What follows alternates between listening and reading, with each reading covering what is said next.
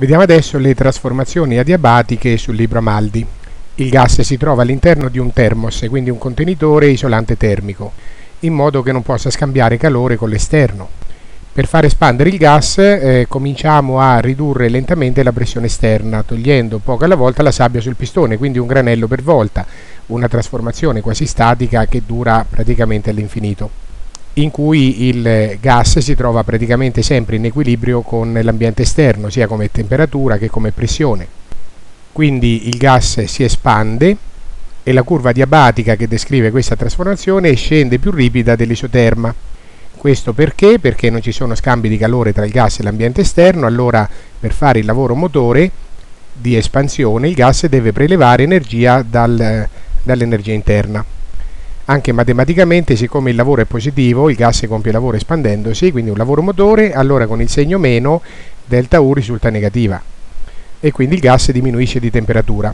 Ecco perché la curva adiabatica è sotto all'isoterma.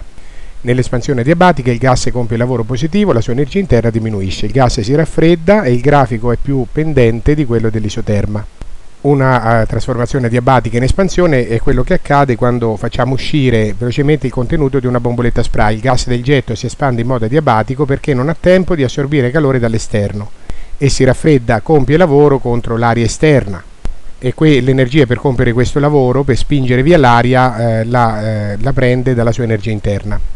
Se invece vogliamo comprimere adiabaticamente il gas, dobbiamo aggiungere granelli eh, sul pistone la forza di gravità, la pressione esterna spinge il pistone verso il basso e compie lavoro positivo, il gas invece compie lavoro negativo, cioè lavoro resistente perché spinge in alto, ma il pistone si sposta in basso. Allora per il primo principio della termodinamica, eh, con Q uguale a 0 il calore scambiato nullo, o con un lavoro resistente negativo o delta U diventa positiva.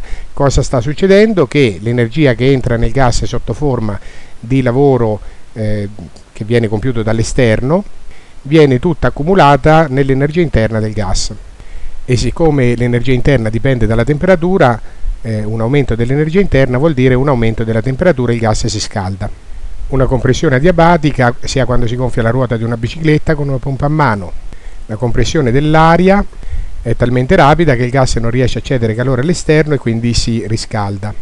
La diminuzione di volume è dovuta al pistone che, eh, che schiaccia l'aria all'interno della pompa e quindi ne fa diminuire il volume.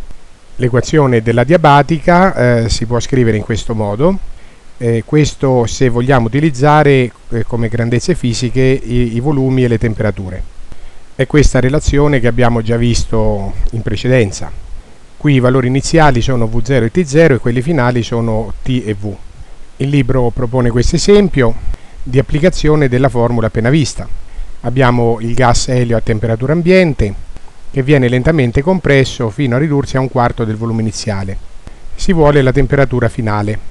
Siccome il cilindro è isolato termicamente dal, dall'ambiente esterno, la trasformazione è una compressione adiabatica e allora si può utilizzare questa formula per la temperatura finale. Il rapporto dei volumi l'abbiamo perché il volume iniziale V0 è quadruplo del volume finale, quindi questo rapporto fa 4.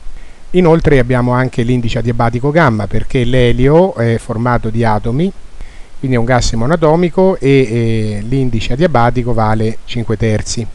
A questo punto basta andare a sostituire i valori, quindi il rapporto dei volumi è 4, gamma meno 1 è eh, 5 terzi meno 1, quindi 2 terzi, la temperatura iniziale è 300 Kelvin e facendo i calcoli abbiamo una temperatura di 756 Kelvin che è superiore rispetto a quella iniziale, infatti in una compressione adiabatica il gas si scalda.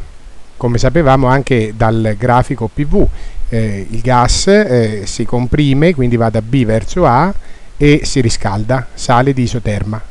A questo punto il libro Amaldi eh, dimostra e ricava anche l'altra formula, quella che in realtà è usata più comunemente per la trasformazione adiabatica, cioè PV alla gamma è costante e poi eh, scrive ricava anche eh, l'ultima formula, quella eh, della trasformazione adiabatica che fa uso di pressione e temperatura. Infine eh, il libro disegna eh, la trasformazione adiabatica nel piano PV e si vede che attraversa e interseca eh, le varie isoterme.